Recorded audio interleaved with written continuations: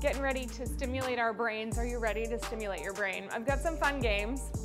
I'm confident that our, oh my gosh, very cold.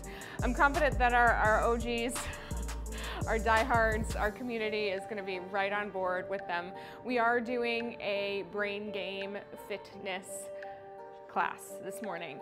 Most of it, all of it, is gonna be body weight oriented. So we're just gonna move, we're gonna have some fun, we're gonna play some games. I'm hopefully gonna remember those games. I've got a special couple of memory things for you. So, are you ready? Let's get ready. Let's stand with our feet a little wider than hip width distance apart. Let's unlock the knees. Good, and then roll your shoulders back. Thank you, Tracy. I've been wondering if anybody's gonna notice because this is the longest my hair has been in a while. It's not gonna get much longer. I'm just trying a little bob. but it's long in comparison to my very short pixie. Who knows, I may go back, I may go forward. I'm just having, I'm having fun with the curls right now, so yeah, it feels good. Let's go two more. Good. Last one, and then let's roll the shoulders in the opposite direction, back to front. Just let this feel good and nourishing. I've got a little kind of like a squirrel stuck in my shoulder this morning, so I'm just gonna like kind of move around that squirrel. it's an angry squirrel, maybe more like a hedgehog. It's right up in here, just like, mm. so I'm trying to be really gentle. Wow, it's super cold for all of you. All right, well, let's warm ourselves up. Let's go two more. And last one, we're gonna take the right arm up, bend your right knee and just reach over, big stretch, and then go the other way, reach over. And just let those hips reach side to side. Just get some good juicy movement through your spine. I'm giving my hip a little push, a gentle push, just to kind of find that big arc over the top. Good. Couple more. That's it. Last one. Yes, now we're gonna take the right knee bend and reach across to the left and then alternate it. So we're just moving through our spine. Moving and moving through our spine. Good. Reach it across. Let's go for four more. Good. Three. Nice, just gentle, juicy body movement. Two. Good. And last one. Bring both arms over to a T. Let's fold out your hips flat back forward. Just find that nice long hamstring stretch. Take your hands to your knees, bend your knees, round your spine, rolling all the way up to the top. Arms out to the T again. Hinge forward. Hands to the knees as you bend and round. Curl your tail under as you roll all the way to the top. Arms out to the T. One more time like this, yeah? Hinge forward, nice flat back forward. Take your hands to your thighs. Curl your tail all the way under to come all the way up. Roll those shoulders. Let's just do a little marching in place. Just get a little bit more warmth coming in. So lift those knees nice and high. So our first round of exercises is going to be a little bit of a word association. We're gonna do a series of movements, and with each movement, I'll give you a new word to remember. Before we start another move, we'll have to say or chat. I know it's gonna be hard to keep moving and chatting in the, in the comment box, but if you can chat, like, go for it. Or if there's two of you, take turns chatting.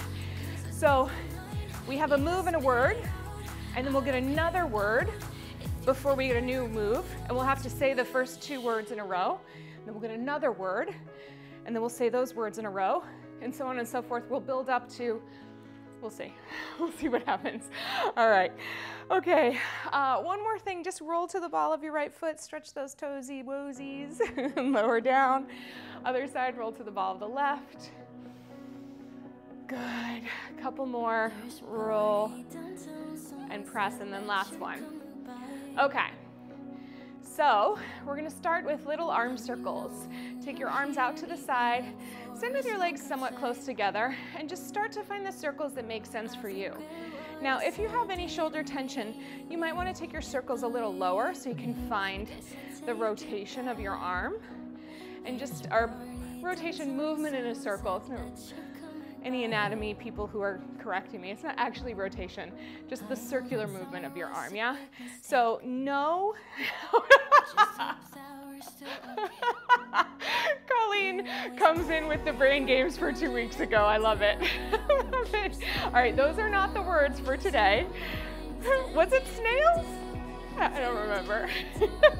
All right, just find your circle. You crack me up. Good. Nice wide big circles, pressing around. Good. All right. Right here. So the word for your arm circles is box. B-O-X. Good. Let's reverse our arm circles. And again, just letting these feel. feel like a, I erased the other words, Colleen, so I don't know what they are. Let, let this just feel very, very free. All right, pay attention to these words, you all. what was the arm word? Do you remember? It was box. Okay. Give me eight, seven, six, five, four, three, two, and one. All right, lower down, release. We're gonna come into our marches, side to side again. Just bend those arms. Good. Get it going fold, bringing that knee right up to the center of your abdomen, swinging your arms. Let it be whatever it needs to be for you. If you've got, you're on your rebounders, I know some of you do this on your rebounder, go ahead. Find it, good. All right, so your second word is snake. Good, that's it. Go four, three, two, and one. What were the first two words? Don't bother chatting them. They were box and snake. All right, you with me? Box and snake. Okay, let's come into a wide position side to side. We're gonna go into some side lunges. So we're gonna press the hips back, chest stays up as high as you can, come back to center. Reach over to the side. Come back to center. Good. Reach. And up. Good. Reach. And up. That's it. Reach. And lift. Reach. And lift. All right. So hopefully you remember your first two words. Your word for lunges is leaf. Okay? I'm not repeating the other two until it's time. The word for side lunges is leaf. Let's go a couple more here. Side to side, reaching out, back center, out, back center. One more each direction, then we're gonna take a little stretch for our spine. Good. Take it over to the right. Take your left hand down. Find a rotation. Feel the inner thigh stretch on that left leg twist your spine, reach up, look up if you can. If you can't, just keep your focus down, pressing through your heels for a little more strength and balance, bending that knee all the way down. Good. Let's come through center, bend both knees. Roll up through the spine, arms to the T. We'll bend over to the left side, all the way up. So this one was leaf, all right? This one was leaf. Side lunges are leaf.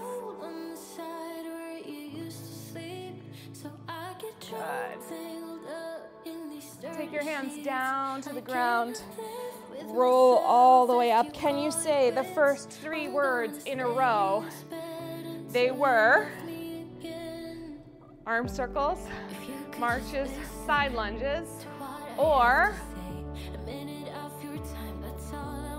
I'm going to give them to you in four, three, two, one. They were box, snake, leaf. Come back in a little closer. All right, that's how it's gonna go. I'm gonna give you another word. Remember box, snake, leaf. Here we go, squats down. We're going two counts down, two counts up. I hope you're saying them out loud at home. I don't expect you to comment, and I would rather you be moving, so don't worry if you don't get them in the chat box. Good. Ah, I love it. I love it. Good. all the way up. All right, for squats, our word is pole, P-O-L-E, pole, or P-O-L-L, I guess, but I'm thinking of the long pole. Good. Reaching back, sitting. Can you start to remember those four words now in a row? That's it. Good. Give me four. Three. Nice and deep if you can. And two. Excellent. Now on the last one, take it down as low as you can. If you can come into a squat all the way down, if you need your hands in front, go in front. If you need to be up on your toes and have your heels elevated, try that. If you're just holding a midway squat, that's okay too. We're just gonna do another twist. So keep your left hand down and open your right arm up to the sky. Maybe pushing your left knee back with your left elbow. Good. And then bring it all the way down. Do the other side. Good, bring it all the way down. Take a little rounding of your spine and then make your way down onto hands and knees. All right. Can you give me those four words? Say the first one, the second one, the third one, and the fourth one. All right, here they come. Are you ready? Box snake, leaf, pole, and yes, I do have them written down because I can't do all those things. Okay. What's the, oh, it's a wand. I love it. Okay, Tracy's got the emojis in the comments. By the way, Colleen, I still owe you a prize from the last one. I haven't forgotten. Um, so there'll be, a, there'll be a big one coming on this one too. So in a minute. All right, let's take our hands and knees down. Let's go into a little cat-cow rounding the back. Reaching through, chest, and curling under, lifting through the center. Letting your spine really move long in both directions. Good. Reach. And round. Okay, so come back to center. We're gonna do this little waist twister. Bring your right heel towards your right hip, and then we kind of spin a little bit, and then turn and look over your shoulder towards your heel. Spin on the knee, turn and look forward the other, turn and look over the other shoulder to see your foot behind you. So you're just kind of making a little, like if your knee was your tail, you're wagging it side to side. There's no pressure on my knee right now. Most of the pressure are in my arms and my other leg, my supporting leg, okay? All right, so this is our exercise, our fifth one. And the word for this exercise is ear, E-A-R. Good. So see if you can remember the order. Adding ear onto the end. Good. That's it. We're gonna do one more across. Good, come back to center, place it down. Let's round the spine, curl. And arch the back. And then come back to a centered place. Pick your heel up toward your sits bone and then turn and look at it. And what is your word for this exercise? Do you remember? Good. Yeah, this is a good one. It's nice for your waist. It's even a little nice for your shoulder articulation. And definitely we're getting a little hip juicing in there too. Good. Go a couple more to get nice and warm. We're making great time today getting through all these juicy exercises. And I have great news. I did say on Monday that March is a little wonky, but April gets real nice for us all again. So bear with me. I'm excited about April. Good. One more across. Good. And lower. Let's take it just a cat-cow to reset. I like to just shake it out here. Lengthen, reach. Good. All right. I've got five words.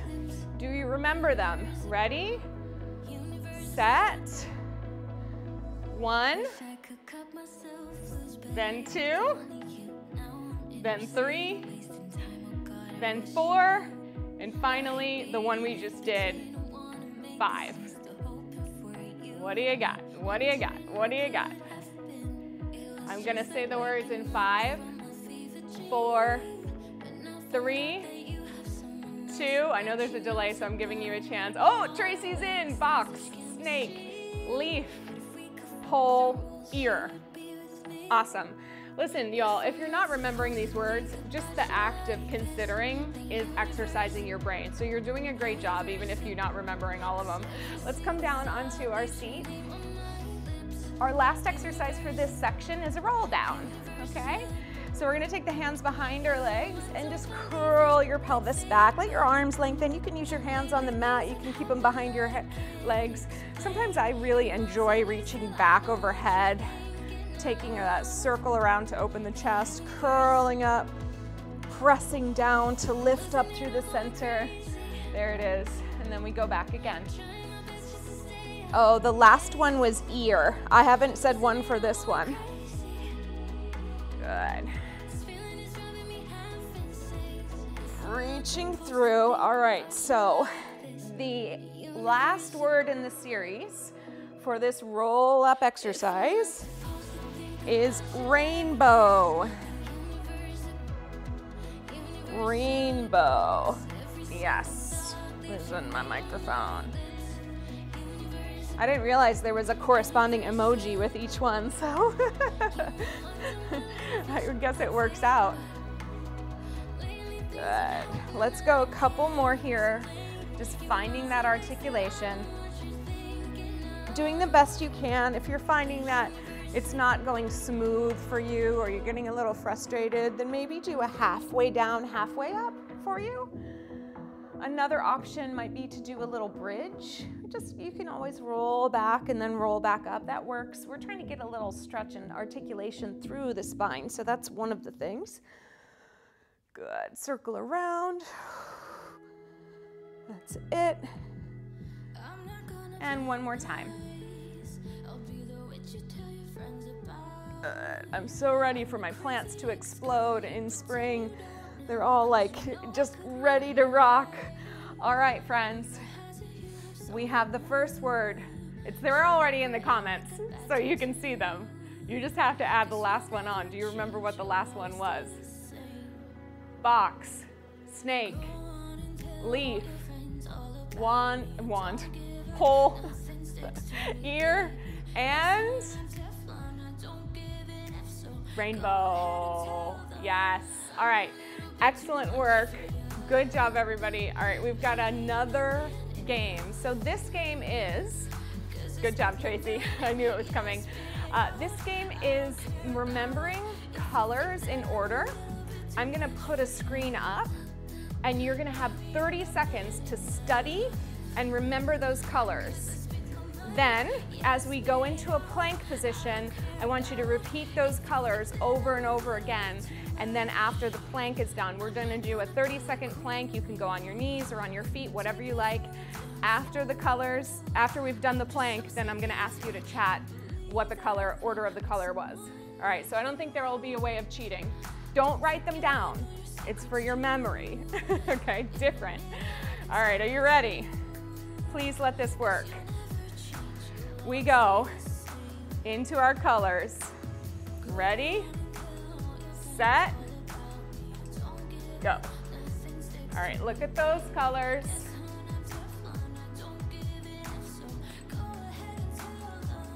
I have to remember them too.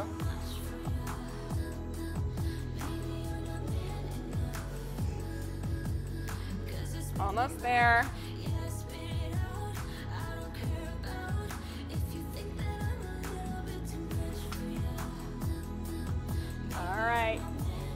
Getting ready.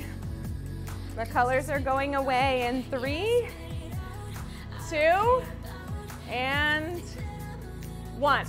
It worked. All right, come on down with me in the plank. Hands under shoulders. You can be on your knees forward like so, or you can pop up to your plank on your feet a full high plank. We begin in three, find your position two, and one. Start repeating those colors in your mind. Good. We're here for 30 seconds, so find where you need to be supported. Find your strength. Find your reach. We're over halfway there. Looking for that nice, strong support front and back. Good. Five, four, three, two, and one. Lower down, take a little stretch. Back. Hurry on over to your comment box and comment the order of the colors. If you're not playing along, we're just gonna take a stretch over to the side. We've got some competitive people in the chat today. so can you remember those colors in order? Good. Over to the side, stretching out. Ooh.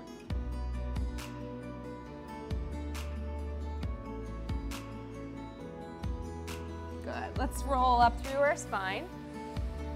All right, we've got Joy coming in first. Let's see if she's got it correct. Ready? She said green, she said orange, she said purple, blue, black, and red. Tracy's coming in a close second. Excellent work. Nice job. Really good. All right, we've got, kept wanting to mix up purple and blue. I did that on purpose just to make it a little more challenging, I know. All right, let's go into some stretches, give your brain a, rest. We're gonna be on our knees for a moment. You can always come up off the floor and do a lunge here with your knee off the floor. I'm gonna take my front foot forward and just find that 90-90, two 90 degree angles. I want you to think of this front hip just reaching down a bit. So it's angling down, you get a lot of length. Press forward from your pelvis, so a little rotation under lifting through the spine, and just find that sense of length down the front of your back thigh. Good. From here, we're gonna take it forward. If you can bring your hands to the ground, excellent, go for it. And then if you can sneak your outside hand inside and let your knee of your front leg open up slightly to the side, sometimes that's a nice stretch. I'm kind of leaning on the outer edge of my foot. No pain here, it should just be an opening sensation if you've got it. You're always encouraged to find the one that works for you, right? All right, let's stand back onto that front foot. Move your back arm in a, a, little bit, tuck your back toe, and then let's come up into a lunge and find a little rotation. Yeah, lowering the hip down. Yeah, Interesting. So found it hard to focus on good form, right? And so the, the benefit of doing this exercise, quite honestly, let's come out of this lunge. So lower your hand, lower your knee, come on up. So I'm just gonna turn to the other side so I can keep talking to you. The benefit of doing the exercise where you're asking your brain to pay attention is kind of twofold, right? So you're getting that benefit. Let's tuck that tail under and just press forward to begin you're getting the benefit of the brain being challenged to be physical and also mental at the same time. So sometimes that can kind of scramble the signals and get frustrating. But you also find where your body really has that form kind of downloaded and embedded. Let's reach the arms forward if you can. So for some of us, it's like, all right, my body knows how to do a plank. Let's bring the hand to the inside if you like rainbow. um, let's, uh, so you might say, oh, my body knows how to do a plank, or oh, this is actually requiring me like a lot of thought to do the good form of the plank and the memory. So remember, whenever we do brain games, let's stand back on that front foot, tuck your back foot under, and then find your rotation and your lunge. Whenever we do brain games, I try to always remind you that when you're scrambling, when you're a little frustrated, that's good. That is like your brain lifting a dumbbell. It's a challenge for your brain. When it's easy, it means it's not enough challenge. but let's lower down. Good. Let's go ahead and find our way back up to standing. So I'm gonna tuck my toes and just do a little pedal stretch here for a moment. Good. Walk yourself all the way in, bend your knees, roll up. Good. All right, so when it, when it isn't enough challenge, your brain's kind of hanging out, no big deal. When it's too much challenge and it's putting you into an angry, emotional place, that's maybe an indication that it's too much. Like when you get confused, disoriented, frustrated, angry, you know, when your nervous system is overwhelmed, when you feel like everything gets real small and over and, and heightened, then that is, um, that's an indication that we've done too much. So let's just finish by just taking a little swing side to side. Coffee helps, yeah.